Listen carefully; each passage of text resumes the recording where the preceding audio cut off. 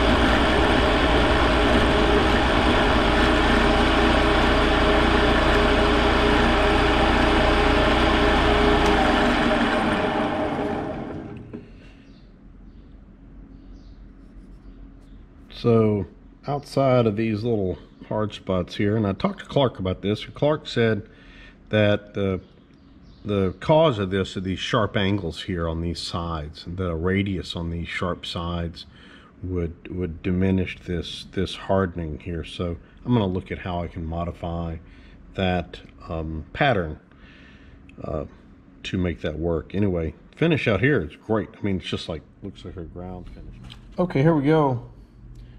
432, 433, 434. Um, I think based on my depth of cut, uh, there isn't going to be any real big difference between the 433 and the 434, and uh, I believe that's that's proven out. They're very similar in uh, finish, um, but definitely superior to the 432. So anyway, um, just a little add in there.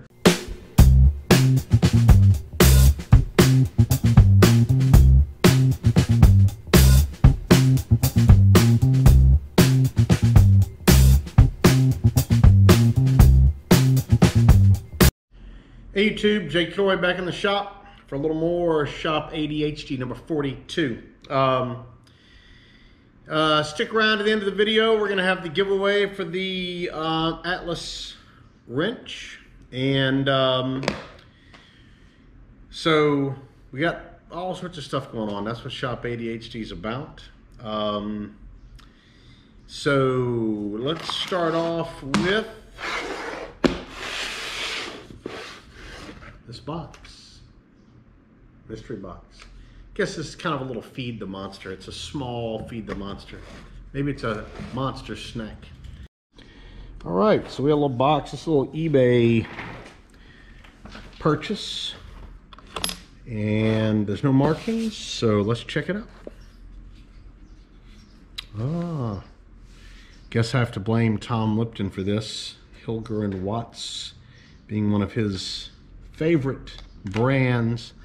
Um, anyway, I saw this on eBay for, well, I'm not even going to tell you how much. It was very little.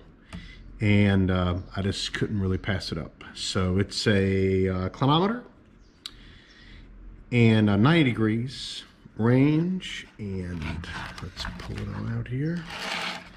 We're to have a little cleaning up to do because uh, this is all covered in tape. It's all adhesive coated. Otherwise, it appears to be okay. Um, some interesting features the way this works. There's a flexure here mounted at the end that is uh, mounted between these two plates. And then there's a spring here that pulls this front down to the plate and a adjustment screw. So you can set this down on a surface, right? And uh, adjust your angle here. See, you see this it's very finely threaded until you level this out and then there you know you know what your uh, angle is but uh, anyway it's pretty interesting um, it's got a uh, you can pull this down and then you can if you pull it down you can manually adjust it it disengages the uh, screw so you can manually move this. I guess it's kind of like the fast action. And then this uh, here, the, the wheel is calibrated. So anyway, pretty nice. Came in this little box. And I, I will tell you, I think I paid like 35 bucks for this, right? I mean, even if it was broken, it'd be interesting, right? But it's not broken. The bubble's still there. Um, and uh, it uh, reads nicely. I put it on my mill over here, which is both my mill tables are uh, pretty closely uh, leveled using a a 15 inch Starrett precision level. So they're both pretty close. Um, they're not right on the money, but I've got adjusting feet on them and I've got it pretty close. I put it over there and it looks good. And if you do the, if you do the twist, uh, both ways, it comes out okay. So anyway, um, uh, pretty nice. Um, like I said, this will be a future little cleanup project here because it's got uh, it was some kind of tape put on there. Uh, it looks almost like paint. Um, so we're going to disassemble this, at least this bottom portion here and um, look at it. We may just get all sorts of adventuresome and just take the whole side off and take a look up in there. So uh, uh, look for that in the future. This appears to have been owned by AMF, American Machine and Foundry Company. Um, I don't know what particular um, branch, but uh, it has an inspection uh, certificate here from 1970, and then the next inspection 1971. This sticker, of course, looks much newer. Um, anyway, there you go. Um, the box says Hilger and Watts Limited, sold and serviced in U.S. by Engis, Engis, E-N-G-I-S, Engis Equipment Company, Chicago, Illinois. So there we go. That'll be a fun little to-do.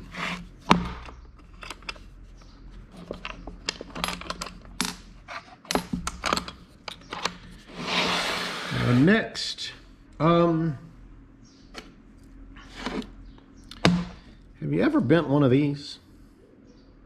I've bent more than one, I've got to say, honestly. Um, and um, I've made more than one, but I bent one here not long ago. I put the tool holder in the, um, I, I, put the block in, in the uh, tool holder on the rivet and I failed to cinch it tight and um, it was loose and I just forgot about it and I moved up on the work and it hit the work and boom it bent bent this thing into a nice arc. I'll see if I can find it to show it to you Trender somewhere. But anyway um, McMaster-Carr sells these little setups here. It's an Aloris part right? Aloris uh, height adjustment assembly. The Aloris part number is whatever tool post you have, B, XA, CXA, whatever, CA dash HA, and it comes just as you see it here. Um, the stud, the washer, the nut, and the uh, knurled adjustment nut. And the washer is not just, you know, if you're familiar with these, not any other washer. It's got a little uh, index tab that indexes into this slot. So uh, it that way when you crank down with the nut to uh, lock your height adjuster in place, it doesn't turn it. Anyway, so I, I bent one. And I went out on MasterCar, and this little setup, I believe, for the BXA was about $18. It's actually cheaper than you can buy it directly from Aloris. So uh, in these uh, weird times of pandemia, pandemic, um, pandemonium, uh, uh, McMaster-Carr is still the most reliable industrial supplier out there. So, uh, you, you, know, it. I bought an extra. Might as well keep uh, keep one around because, you know, it's going to happen. So, uh, and for a reasonable price. So why not? And uh, we're going to put this one in here with a little little green Loctite. I've previously uh, cleaned that out with a uh,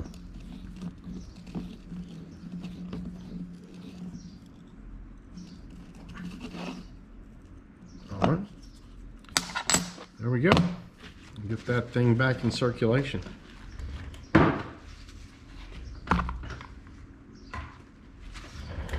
Uh, next. Don't you hate these things? These cheap ass plastic uh, pouches that cheap ass Chinese tools come in. Um, so anyway, I've had this set of uh, uh, little punches for a while, and I was looking for one the other day, and I found this thing, and I said, you know, these I really don't like these things. Uh, so I got my 3D printer going and I printed a little holder, right, to, uh, to hold these. I will provide a link. I'm gonna up, upload this uh, model to Thingiverse. If you happen to have one of these punch sets from uh, Harbor Freight, uh, you can download this from Thingiverse and print it, and it's um, much nicer than these stinking plastic bags. Um, but uh, so that's going in the trash. Okay, you've probably seen one of these things, the old Razor scooters.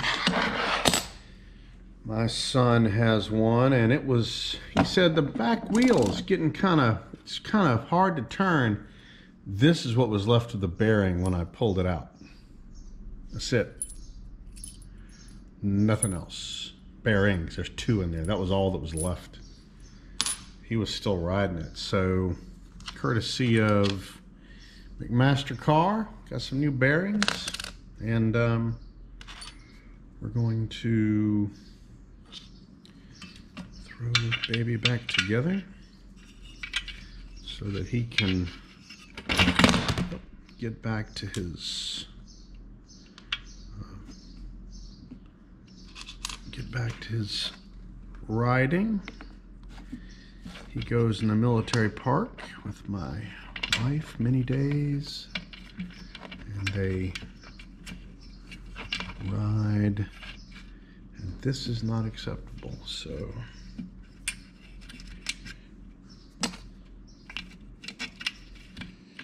So this is one of those overkill projects right? So they got this little guy from uh, thrift store. They were at a thrift store making a donation, and Thomas laid eyes on this little scooter and decided that he had to have it. So, five dollars later, and this thing was his. Now,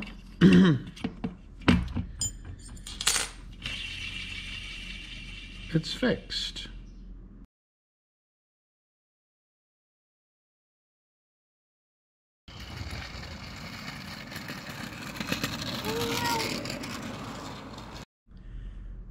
So I found some old footage. So we're going to have some metal cutting, gratuitous horizontal mill action for no other reason than because we can. So enjoy and skip to the time shown on the screen if you want to bypass the cutting action.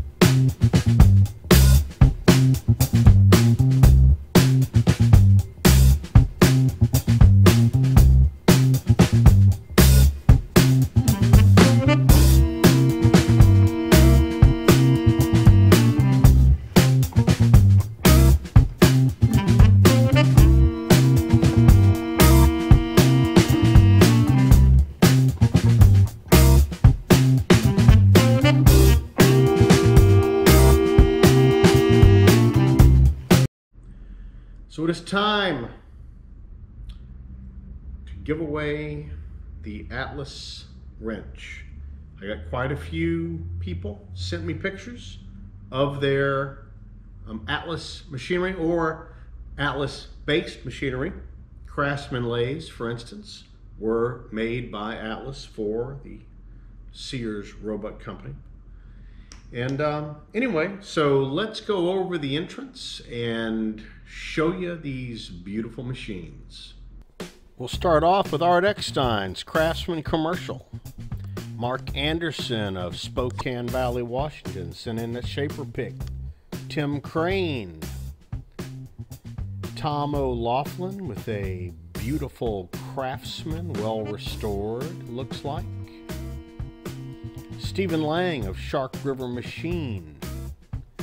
Steve Detloff of Hillsboro, New Mexico, who's the proud owner of his father's Atlas, the original owner. Jim Slonikowski, Eureka, Illinois, with a beautifully restored Atlas.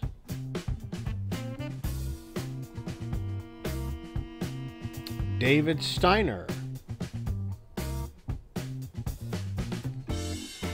Barry Stevens finishes it up with this well restored Atlas Shaper. All right, so you've seen our entrance, our nine entrance. What I've done is I've written one through nine on a bunch of uh, three quarter by 10 self-locking stainless steel nuts.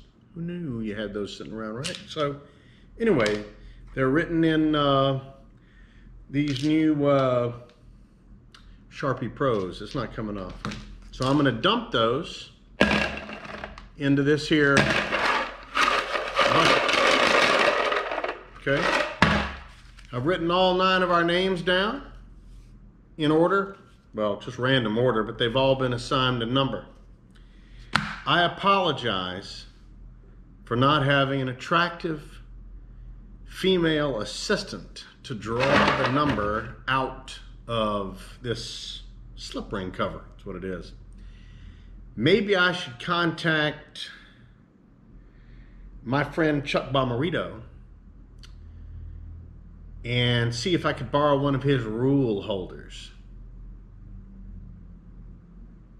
If you've never seen Chuck's rule holders, you must go to Chuck's channel right now and go look for the rule holder video.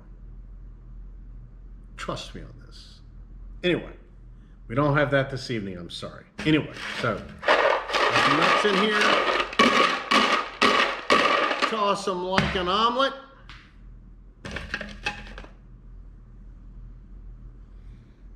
Number four, that would be Mr. Tom O'Laughlin. Mr. O'Laughlin, you are the winner of the Atlas Press Company wrench. Please send me an email with your mailing address and I will get this baby right out to you. And if you live in Canada, I'll get it out to you after the pandemic, panic, pandemonium is complete. So there we go. Another Shop ADHD in the books. We'll be back soon with yet more projects. Can't really work on any of the big projects right now, like the press project, because, well, there's nobody around here to help me carry that heavy stuff, right? Uh, so um, that's why I'm doing a lot of you know smaller projects right at the moment because I can do them by myself. Anyway, uh, thanks to all the guys that sent in pictures and entered. Eh, I love seeing other people's shops and hobbies, machines. It's great. It's great to see other people in the community because this is what it's all about. It's the YouTube machinist community. We're a community of like-minded people and we need to stick together, especially in times like these. So, um, in order to be a community, we have to act like it, and that's acting like it. That was great. Thank you very much. I appreciate it. And uh, look for more such um, adventures uh, soon. I'm going to have a giveaway next week of um, some little uh, brazed carbide tooling. Um, I way too small for any work that I do, right? But uh, I'm sure there are people out there with machines uh, that can use these. So uh, this is what we'll be giving away next week. And maybe something else. I never heard from Brian Block on the Monster T-Nuts, but I'm, I'm confident I will. So everybody, be safe. Uh, I'm not going to tell you what to do, what not to do in times like these. Do what you think's best, but be careful. You're all my friends. I don't want to lose any of you. So be safe in the shop. I'll be back with you soon. Thank you.